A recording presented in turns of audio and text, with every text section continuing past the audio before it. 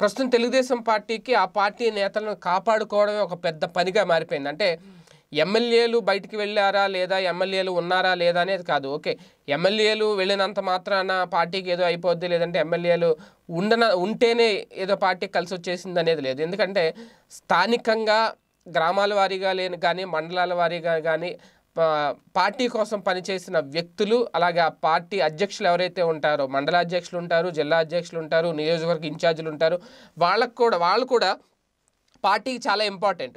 అలాంటి వాళ్ళు కూడా కొంతమంది ఈ చంద్రబాబు గారి నిర్ణయాలు నచ్చకో లేదంటే జగన్ ప్రభుత్వం తీసుకుంటున్న నిర్ణయాలు నచ్చో లేదంటే స్థానికంగా ఉన్న ప్రజాప్రతినిధులు యాక్టివ్గా ఉండకపోవడం వాళ్ళు కూడా మౌనంగా ఉండడం వల్ల ఈ కింది స్థాయి నేతలు కూడా పార్టీని వదిలి పార్టీ మారిపోయే ప్రమాదం ఎక్కడ జరుగుతుంది?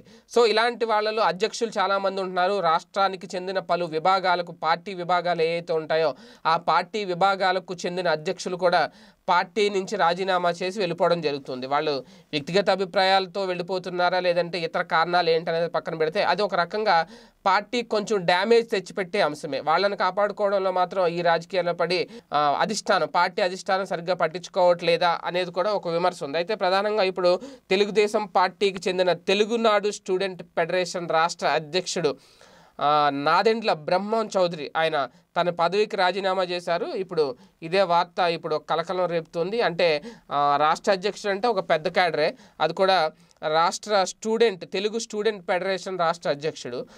ఆయన రాజీనామా చేయడం వల్ల ఇప్పుడు తెలుగునాడు స్టూడెంట్ ఫెడరేషన్ రాష్ట్ర అధ్యక్షుడు పదవికి నాదెండ్ల బ్రహ్మం చౌదరి రాజీనామా చేశారు. ఆయన వ్యక్తిగత సమస్యలతో రాజీనామా చేశానని చెప్పి రాజీనామా లేఖలో ప్రస్తావించడం జరిగింది. అయితే గతంలో అంటే తను మధ్యతరగతి కుటుంబం నుంచి వచ్చిన వ్యక్తిని కాబట్టి తనని చంద్రబాబు చాలా ప్రోత్సహించారు అని చెప్పడం రాజకీయాలు దూరంగా ఉంటూ సామాజిక సమస్యలపై పోరాడుతున్నాను అని చెప్పడం. అంటే సామాజిక సమస్యల మీద పోరాటం చేయాలంటే రాజకీయాల దూరంగా ఉండాల్సిన అవసరం లేదు అయినా ఆయన ఎందుకు చేశారు అనేది ఇంక త్వరలోనే తెలిసే అవకాశం ఉంటుంది. ఈ రాజీనామా తన సొంత నిర్ణయమే తప్ప ఇందులో ఎలాంటి రాజకీయం లేదు అనేది కూడా ఆయన చాలా స్పష్టంగా చెప్పారు ఆ లేఖలో. కాకపోతే ఇప్పుడు ఏంటి అంటే ఎందుకు ఇలా పార్టీ నుంచి బయటకు వెళ్ళిపోతున్నారు తెలుగుదేశం పార్టీ నుంచి నేతలు అనేది ఇప్పుడు ఒక వైరల్గా మారిన అంశం. దీని మీద పార్టీలో కీలక సభ్యులు కూడా ఒక దృష్టి సారించాల్సిన అవసరం ఉంటుంది.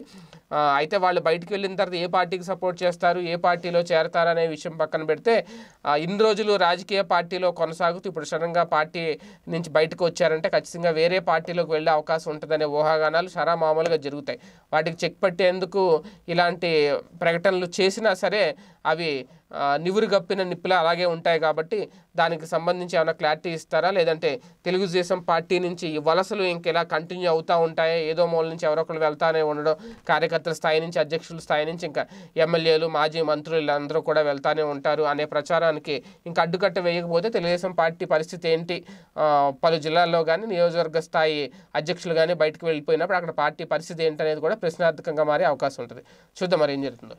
మీరు మీరెక్కడున్నా ఏం చేస్తున్నా ప్రపంచంలో ఏం జరుగుతుందనేది ఇప్పుడు మీకు పెట్లోకి తెచ్చేసింది one line app political movies రాశి ఫలాలు ఆరోగ్య సలహాలు సీరియల్స్ విశేషాలు. ఇలా ఒకటేమిటి?